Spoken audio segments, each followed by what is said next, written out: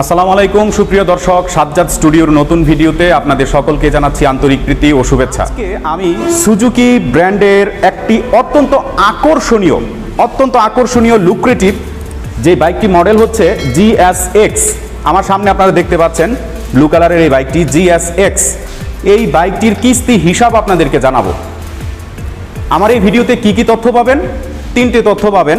এই বাইকটির market price কত? শোরুম থেকে নেওয়ার সময় আপনাকে কত টাকা ডাউন পেমেন্ট দিতে হবে এবং প্রতি মাসে আপনার কত টাকা কিস্তি আসবে? Let's begin the main part viewers যারা আপনারা এই ভিডিওটি দেখছেন, তাদেরকে রিকোয়েস্ট করছি যারা এই চ্যানেলে নতুন কিংবা আমার এই চ্যানেলটি সাবস্ক্রাইব করেননি এখন পর্যন্ত প্লিজ এই চ্যানেলটি সাবস্ক্রাইব করে পাশে থাকা বেল আইকনটি অন করে রাখুন যাতে পরবর্তী ভিডিওর নোটিফিকেশন আপনি পেয়ে যান।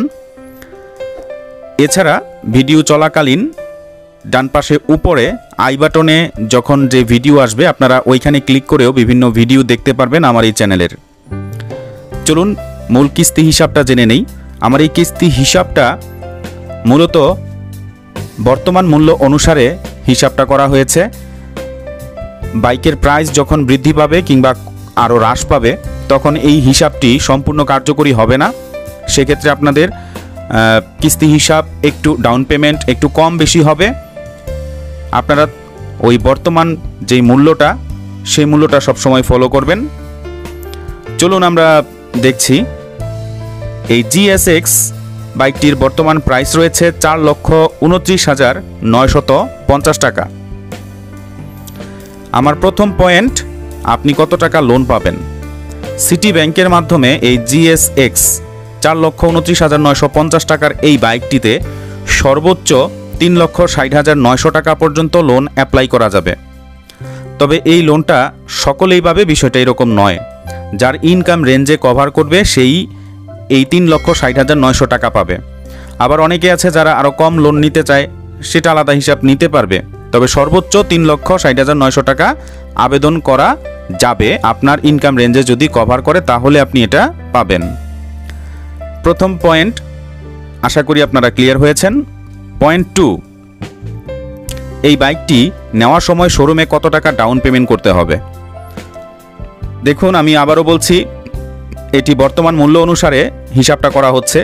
সে হিসেবে বাইকটির মূল্য যদি চার লক্ষ উনত্রিশ হাজার নয়শো পঞ্চাশ টাকা হয়, আর আপনি যদি লোন পেয়ে যান তিন লক্ষ ষাট হাজার নয়শত টাকা। তাহলে অবশিষ্ট যেটা থাকছে, উনসত্তর হাজার নয়শত পঞ্চাশ টাকা। আপনারা পুনরায় আবার হিসাব করে নেবেন। আমার হিসেবে যদি কোনো ত্রুটি থাকে, আপনারা ধরিয়ে দিবেন। উনসত্তর হাজার নয়শত পঞ্চাশ টাকা অবশিষ্ট থাকছে। এইটা আপনাকে দিতে হবে। এই টাকার সাথে আরও কিছু চার্জ যুক্ত হবে। আমি সকল ভিডিওতেই আমি সম্পূর্ণ হিসাব ক্লিয়ার করে দেওয়ার চেষ্টা করি।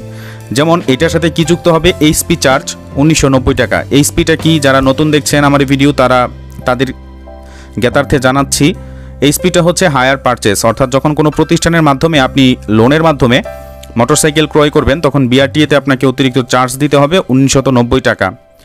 ডকুমেন্ট চার্জ, এগারোশত পঞ্চাশ টাকা।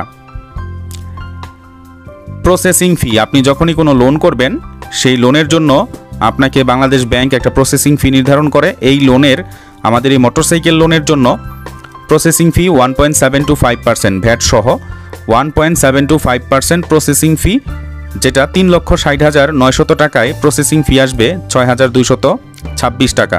আপনি লোন কম নিলে তাহলে প্রসেসিং ফিও কমে যাবে।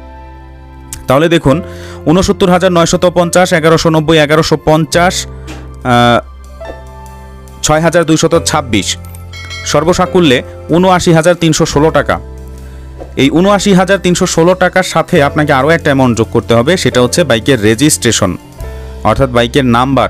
নাম্বার করতে যে কয় কয় টাকা লাগবে, সেটা আপনারা শোরুমে কথা বলে নেবেন। এটা শোরুম ভিত্তিক এটা প্রাইসটা রেজিস্ট্রেশনের প্রাইসটা ভেরি করে।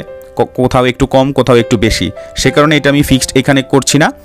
আপনারা কথা বলে নেবেন যত টাকা লাগে সেই হিসাবটা আপনারা যোগ করবেন। উনআশি হাজার তিনশো ষোলো টাকার সাথে রেজিস্ট্রেশনের মূল্য যোগ করলে যা হবে, ঠিক ওই সমপরিমাণ অর্থ দিয়ে আপনারা শোরুম থেকে ডাউন পেমেন্ট দিয়ে বাইকটি নিয়ে যেতে পারবেন। আর বাকি টাকা শোরুমে যেই পরিমাণ আপনি লোন পাচ্ছেন, সেটা শোরুমের অ্যাকাউন্টে ব্যাংক থেকে ট্রান্সফার করা হবে। পয়েন্ট টু আশা করি আপনারা ক্লিয়ার হয়েছেন। পয়েন্ট থ্রি আপনার প্রতি মাসে কত টাকা কিস্তি আসবে? তার পূর্বে বলতে চাই, আপনি আমার চ্যানেলে নতুন হয়ে থাকলে অবশ্যই চ্যানেলটি সাবস্ক্রাইব করে রাখুন। প্রতি মাসে আপনার ইন্টারেস্টটা কত? আপনার পার মান্থ ইন্টারেস্ট হচ্ছে zero point nine one seven percent আর ইয়ারলি হিসেব করলে এলিভেন পার্সেন্ট হবে। আপনি যদি এক বছরের কিস্তি সুবিধা গ্রহণ করেন, তাহলে তিন লক্ষ ষাট হাজার নয়শত টাকায় আপনার প্রতি মাসে কিস্তি আসবে।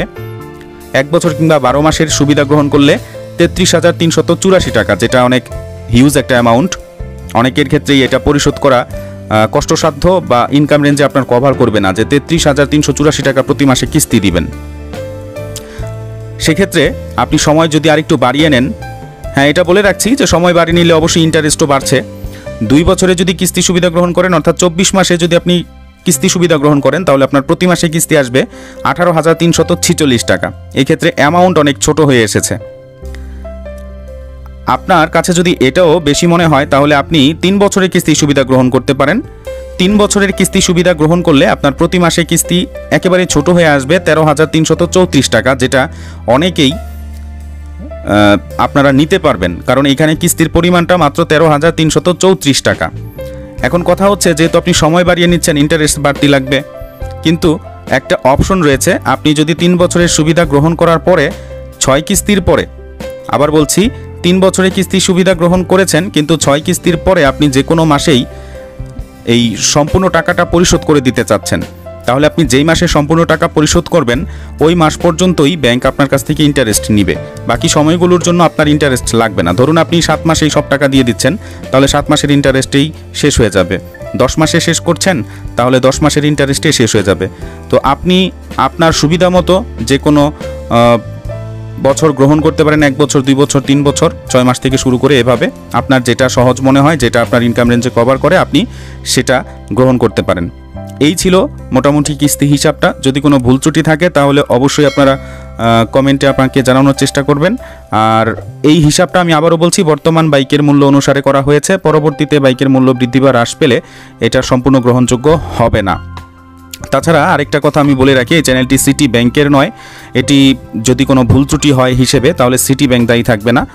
আর এই চ্যানেলটি সম্পূর্ণই আমার পার্সোনাল, এইভাবে আমি শেয়ার করে থাকি আমার ব্যক্তিগতভাবে।